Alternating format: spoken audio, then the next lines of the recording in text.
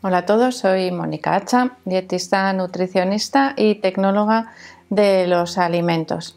Creo que una de las enfermedades o patologías intestinales más desconocidas o vamos a decir menos mm, en la que menos podemos mm, dar una pauta dietética fija serían los síndromes del intestino irritable.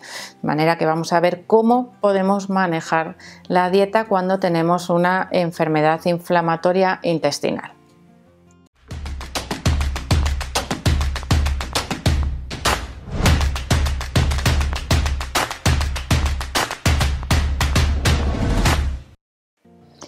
Las dos principales enfermedades o patologías englobadas dentro de las enfermedades inflamatorias intestinales son la enfermedad de Crohn y la colitis ulcerosa, que tienen muchas similitudes, pero también tienen unas pequeñas diferencias y que debemos eh, saber que existen esas diferencias para tener ese diagnóstico.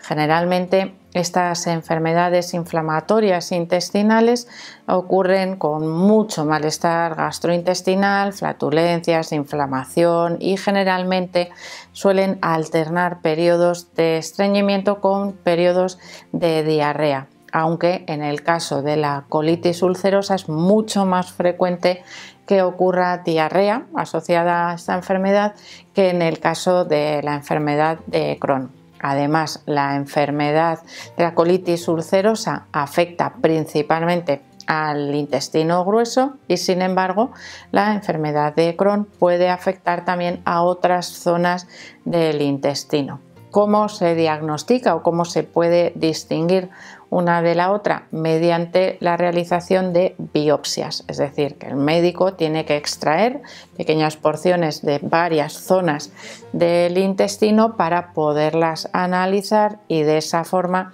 saber distinguir si esa inflamación intestinal está causada por, un parásito, por alguna bacteria, por una infección, eh, por la causa que sea, o si realmente es una enfermedad inflamatoria intestinal.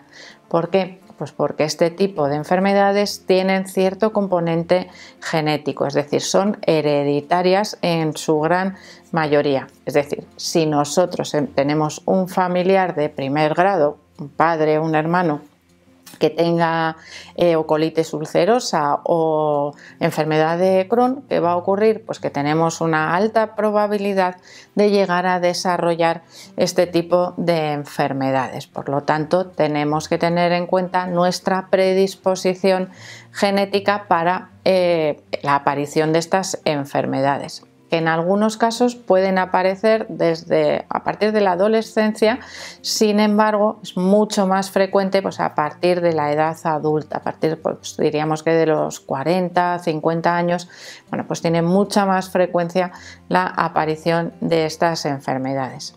¿Qué ocurre? Pues que lo principal que tenemos que trabajar a través de la dieta es la prevención en la aparición de esos brotes y sobre todo cuando esos brotes cursan con diarrea, prevenir la malnutrición que puede ocurrir y la deshidratación que puede ocurrir durante esos procesos diarreicos, sobre todo si se alargan en el tiempo.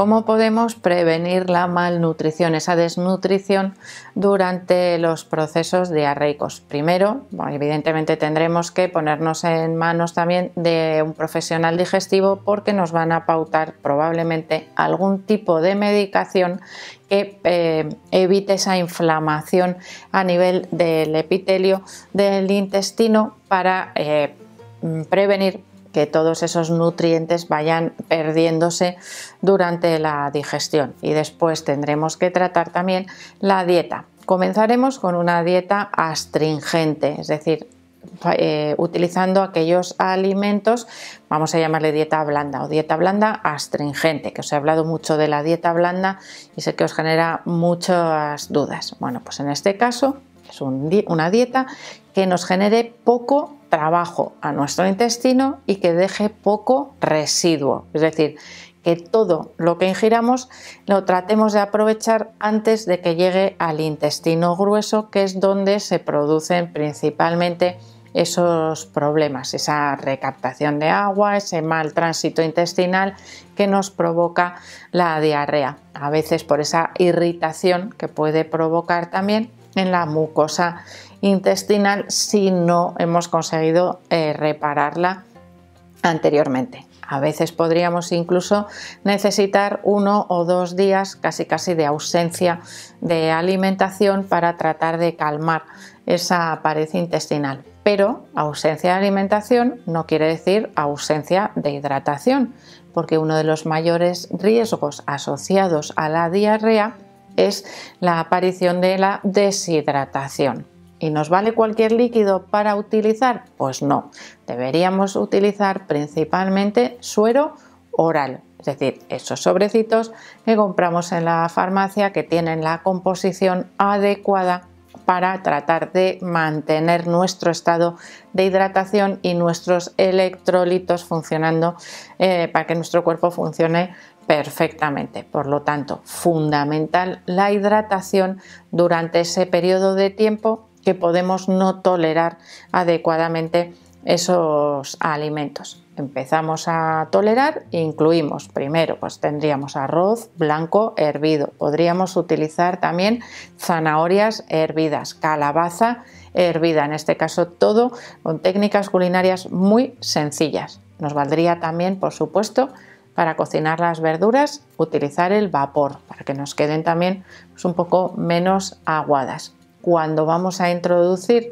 algún tipo de proteína que ya nos va a dejar un poquito más de, residuo, podemos comenzar principalmente con el pollo, pollo hervido o pollo cocido también, que sería el que nos va a ayudar a digerirlo más fácilmente, porque en ese hervido retiramos toda la grasa de ese pollo, que evidentemente lo vamos a hervir sin piel para que tenga todavía menor contenido graso.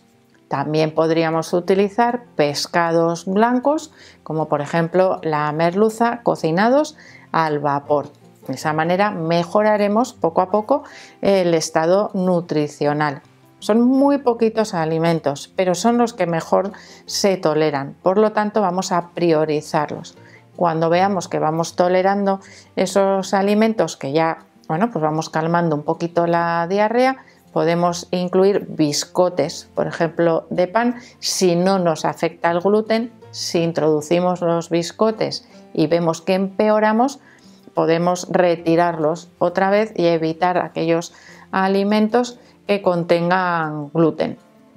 En el momento en el que veamos que somos capaces de tolerar el yogur, nos va a ayudar también a regenerar la microbiota intestinal que se encuentra también en ese intestino grueso y por lo tanto necesitamos recuperarla porque se ha podido ver dañada por ese cuadro o ese brote de colitis o de Crohn. Cuando nuestras enfermedades inflamatorias intestinales están controladas, lo que tenemos que tratar es que la alimentación sea lo más variada y vamos a decir lo más normal posible, es decir, aquellos alimentos que no nos provocan esos brotes, que tenemos que aprender a detectarlos porque no son iguales en todas las personas, aunque sí sabemos que puede haber alimentos que resulten un poco más irritantes y que sienten peor, como podrían ser, por ejemplo, los picantes, la comida picante podría ser bueno, pues algo que afectase a la mucosa intestinal pero es algo que se debe valorar de manera individualizada, tratando de que la dieta sea lo más variada posible. ¿Por qué? Porque nuestra microbiota intestinal que reside en ese intestino grueso se beneficia de la variedad de la dieta, diferentes tipos de hidratos de carbono, diferentes tipos de fibra que obtenemos, no es que sean tipos diferentes, sino fibra que obtenemos de alimentos diferentes, pues ejercen diferentes funciones en nuestra microbiota y pueden favorecer el crecimiento de unos microorganismos frente a a otros. De manera que cuanto más estable tengamos nuestra microbiota, mejor resultado vamos a obtener con esa dieta destinada a prevenir la aparición de esos brotes eh, dentro de la enfermedad inflamatoria intestinal. Y tenemos que saber, por supuesto, que una diarrea, un dolor de tripas, una inflamación a nivel abdominal no siempre tienen por qué ser una eh, colitis ulcerosa o una enfermedad de Crohn, que para ello hace falta, por supuesto, tener un diagnóstico preciso que debe realizar un médico especialista, es decir, un médico de aparato digestivo. Así que una vez que se tienen esas pruebas, hechas esas comprobaciones de qué es lo que tenemos, podemos, por supuesto, pautar la mejor dieta de manera adecuada para solucionar todos esos problemas asociados. Así que sería, esa sería la forma de trabajar cuando existe esta predisposición, que por supuesto también podemos trabajar en la prevención a través de la alimentación de la aparición de esos brotes. Así que espero que os haya gustado el vídeo, por supuesto que le deis al like, no dejéis de suscribiros al canal, quiero seguir viéndoos a todos en los próximos vídeos.